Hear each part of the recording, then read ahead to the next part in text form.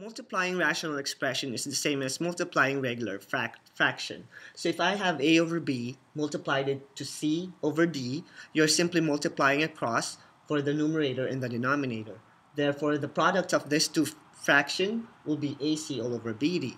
And we're going to use this rule in multiplying the following rational expressions. So for number one, I have x over y times 2m over n. And by using the rule in multiplication of fraction, x times 2m is 2xm, and y times n is yn. And this will be my product for my two fractions.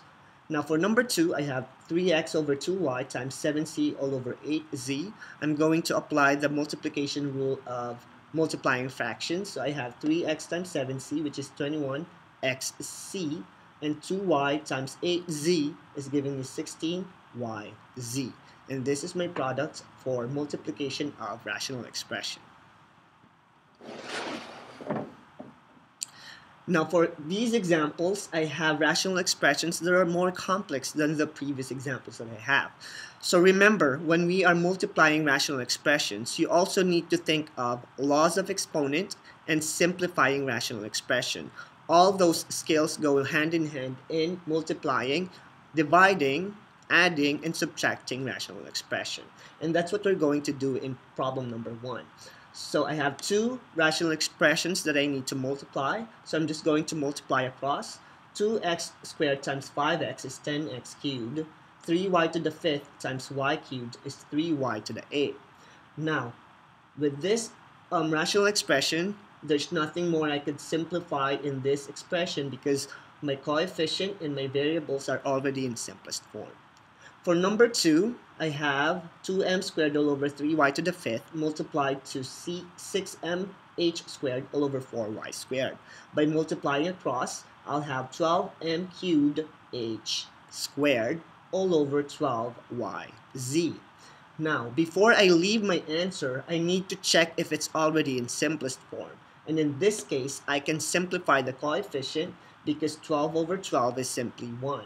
So my final answer for this Second problem will be m cubed h to the second all over y to the seventh by simplifying my coefficient. For my third example, I am multiplying 5x to the fifth by 6y to the fifth, so it gives me 30x to the fifth, y to the fifth. 3y squared times 2x is 6y squared x. Now, by checking my rational expression, I know that I can simplify my coefficient, and I can also simplify my y's. So 30 divided by 6 is giving me 5. And x to the fifth and x, 5 minus 1 will give me 4.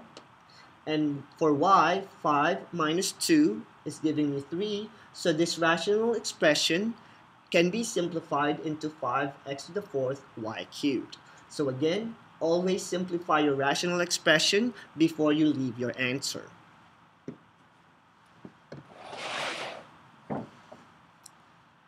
Now, in dividing rational expressions, if you can multiply rational expressions, you can certainly divide rational expressions. There's only an added step on dividing rational expressions compared to multiplying them. So if I have a over b divided by c over d, all I need to do is to copy my first fraction and change my operation into multiplication. And the important step in this um, division rule will be the reciprocal of your second fraction, which is d over c. So now that you have simplified or you have done the first step of dividing rational expression, simply multiply across and you'll have AD over BC. And that's how we simplify or multiply fractions. Now applying it to rational expression, if I have x over y divided by 2m over y squared, I will copy my first fraction, change my operation from division to multiplication, and take the reciprocal of my second fa uh, fraction. So I have y squared all over 2m. Now I can simply multiply my uh, rational expressions and simplify it if possible. So if I have x times y squared, I have xy squared, and y times 2m is 2my. Now I can still simplify this because I have two y's right here, and 2 minus 1 is giving me 1y, so my final answer will be xy all over 2m.